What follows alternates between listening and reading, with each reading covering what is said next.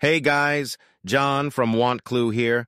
I hope all of you are doing really well and having a really great day. My name is John, I'm an AI-generated voice, and in today's video, Lars will tell you how you can set up an ESP32S3 to solo mine Bitcoin. So let's get started.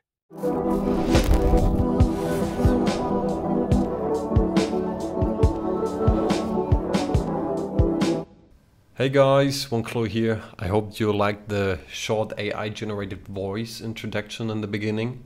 If you do so, give me a comment about this. Maybe I will do this more often uh, or even do complete videos about it. But in today's video, I will show you how you can use such a tiny device like this, an ESP32S3 from LilyGo to try to solo mine Bitcoin. As always, I need to say this is no financial advice and it is the potential that you never will find a block. So do your own research if you really want to do so. Otherwise, let's jump into what we need to do. So the first thing, as you can see, I have this ESP32 here.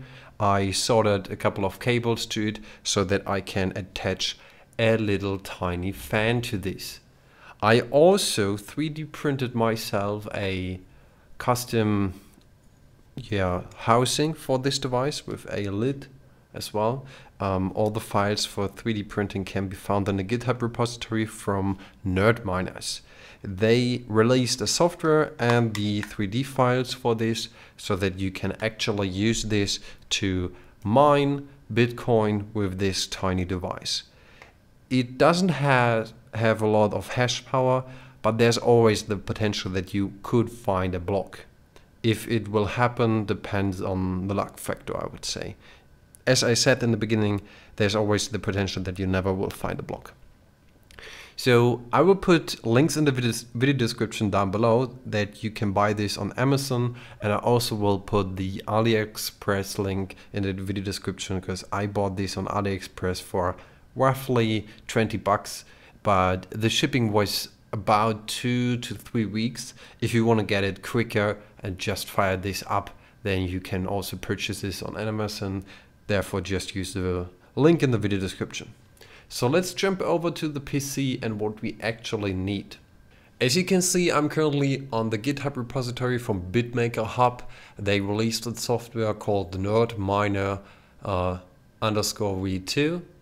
And this is the software that I am using to actually run this device and use this as a Bitcoin solo miner.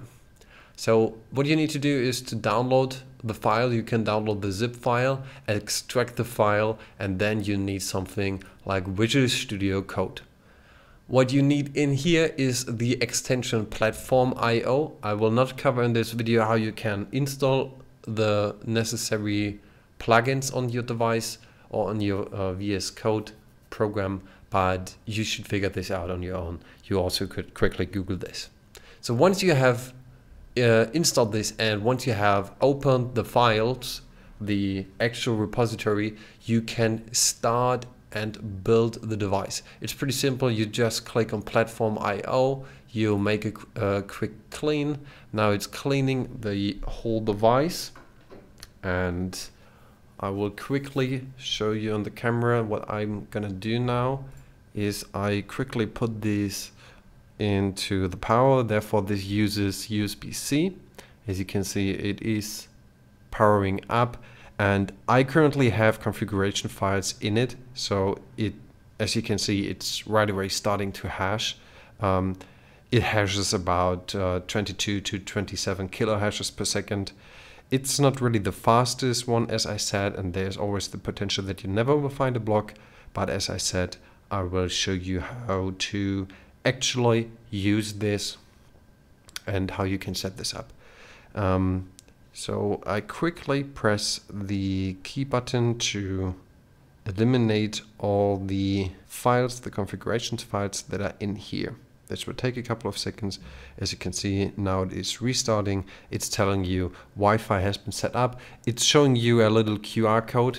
Uh, I'm sorry for the bad camera but uh, yeah, it's also telling you the SSID of this miner is NerdMiner AP and the password so that you can log in into it is mine your coins. Um, but let's get back into Visual Studio Code. I just wanted to show you how it looks when you power it up. What we need to do here is after you've done a clean, you can start with a build. Just double click on it and it will start doing the build of the actual release. What you also need to make sure is that you run this on the correct COM port. So every USB device that you plug in into your PC gets a COM port. Uh, therefore, make sure that you connect this to your actual and correct COM port. Uh, you can simply click on it and it will give you a series of different devices that you can actually connect with Visual Studio Code. So after a couple of seconds, it told me success, everything has been compiled. What you can do now is double click on upload. This will actually connect with your device. And let's see if I open up the camera. Now the device has been turned off. It has actually been rewritten with the files that are in this repository that we just built. In the background, you can see uh, everything is building here and the device is now done. It's resetting and now we can connect to it. So let me quickly connect to it. I need to open my Wi-Fi and I see the NerdMiner AP. Uh, I'm connecting to it. The password for the NerdMiner AP is mine your coins. I'm sorry. And now uh, let me deactivate the camera again. Now we can open page let me see, uh, 192.168.4.1. This will put you over to the Wi-Fi and configuration manager.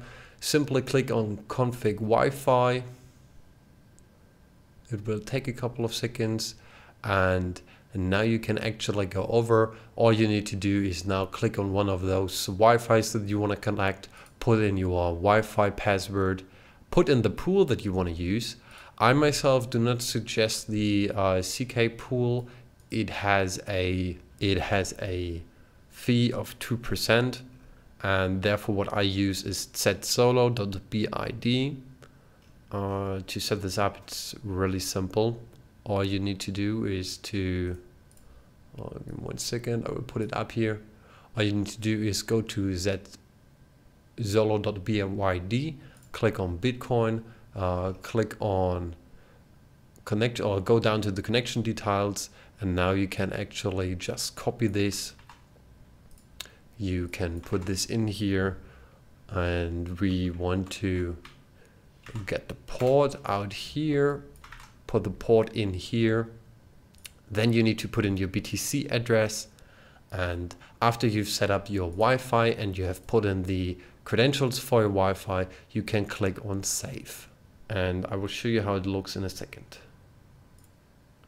So I am back. As you can see, uh, the miner is still connected and we see it is hashing. So it's trying to resolve the issue that is currently being presented by the pool. And if I show you the camera, here you can see it is actually displaying something on your display the thing is, it is trying to solve the issue. If it will find actually the issue depends on really the luck factor if it is capable of. The hash rate it is producing is not that much. It is really low, but as you can see, it is working. Now what I'm going to do is I disconnect it and I put it in this little housing for this miner and I will show you the end result.